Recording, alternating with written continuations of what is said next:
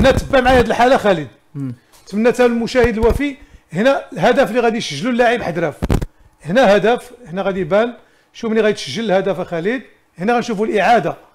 نتمنى حتى من المشاهد الوفي يتبع معنا هذه الحالة. هنا شوف اللاعب حدراف هنا متسلل.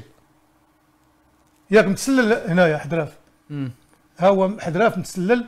ها هو ملي غيتلقى الكرة من هنايا. هنا كنشوفوا حتى الحكم مساعد الأول سي علاء الدين بالشاوي.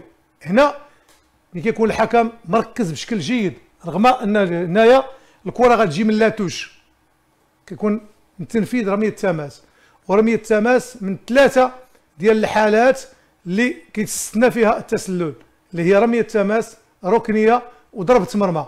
يعني هنا إلا ما كنتيش مركز مع الحالة هنا اللاعبين ديال المحمدية خلاو كيقولوا غادي نخليو واحد في ف l'hors-jeu وكذلك حتى ال gardien de but خرج لهنايا.